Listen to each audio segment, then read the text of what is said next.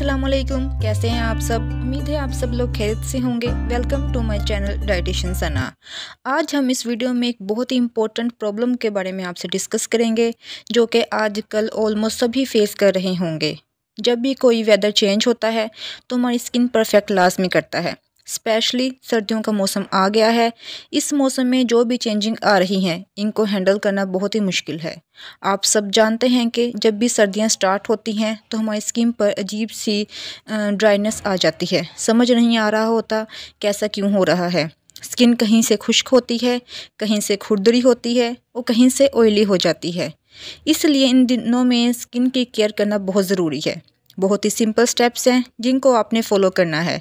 इन steps को follow करने के बाद इनशाला इनशाला आपको सर्दियों में स्किन से रिलेटेड जो भी प्रॉब्लम्स हैं, वो फेस नहीं करना पड़ेंगी।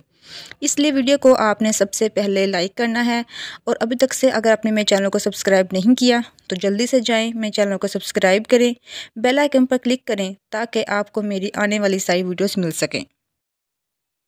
आज की वीडियो में इस्तेमाल होने वाली चीज़ें हर घर में मौजूद होती हैं, क्योंकि ये बहुत ही आसान फार्मूला है।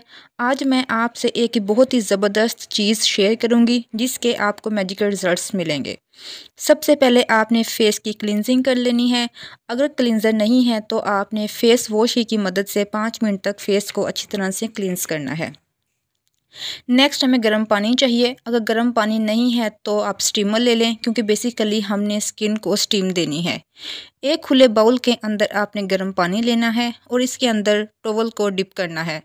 अच्छी तरह डिप करने के बाद आपने टोवल को निचोड़ के पाँच मिनट के लिए फेस के ऊपर रखना है। फेस पे रखने के बाद हाथों की मदद से आपने टोवल को प्रेस करना है, ताकि स्किन को स्टीमिंग अच्छे से मिल जाए। पाँच मिनट के बाद आपने टोवल को रिमूव कर देना है। नेक्स्ट स्टेप में आपने वैसलिन लेनी है।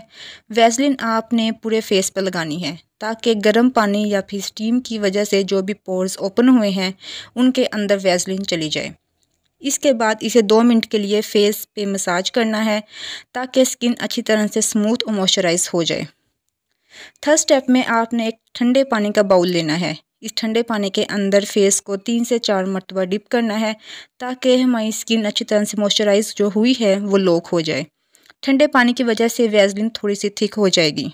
और लास्ट पे आपने टोवल को की मदद से आपने फेस पे हल्का हल्का सा मसाज करना है ताकि आपका जो पानी है वो खुश्क हो जाए।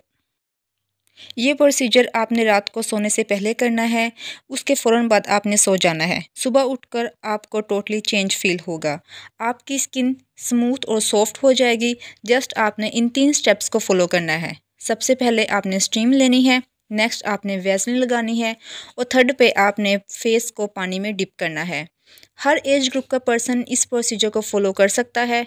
हफ़्ते में एक से दो दफ़ा इस फार्मूले को ज़रूर फॉलो करना है।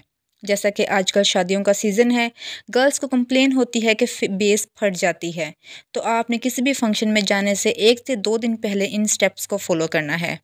इसके अलावा आपने मुझे नीचे कमेंट सेक्शन में बताना है कि मुझे फ़ीडबैक देना है कि आपको क्या रिज़ल्ट आए हैं। और साथ ही साथ आप मुझे सजेशन भी दे सकते हैं कि मैं नेक्स्ट किस टॉपिक पे वीडियो बनाऊँ। मिलते हैं अगली वीडियो में, तब तक के लिए अल्लाह हाफिज़।